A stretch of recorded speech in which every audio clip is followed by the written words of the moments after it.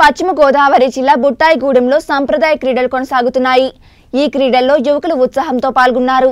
ఈ నెల ఇరవై ఒకటిన ప్రారంభమైన ఈ క్రీడలు ఇరవై ఆరుతో ముగియనున్నాయి. పోలవరం నియోజకవర్గంలో తల్లం బాలరాజు గారి పుట్టినరోజు సందర్భంగా మరి ఆదివాసీ క్రీడలు నిర్వహించడం జరిగింది.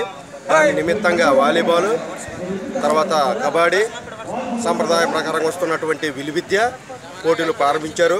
దీన్ని మా ఎమ్మెల్యే గారు మరి ప్రతి సంవత్సరం ప్రతిసారి కూడా విలువిద్య అన్నది ఏర్పాటు చేయడం జరుగుతుంది. వారికి ప్రైజ్ మనీ అన్నది కూడా ఏర్పాటు చేయడం జరుగుతుంది. మాకు చాలా సంతోషంగా ఉంది. ఈ యొక్క ఆదివాసీ క్రీడని విజయవంతం చేయడమే మరి మా యొక్క ఆదివాసుల ధ్యేయం. అలాగే మమ్మల్ని ప్రతిసారి ప్రతి క్రీడను కూడా ఆయన మాకు ఎంతగానో ప్రోత్సహిస్తూ అంతర్జాతీయ స్థాయిలో తీసుకెళ్ళాలనే ధ్యేయంతో ఆయన ఎంతగానో కృషి చేస్తున్నారు.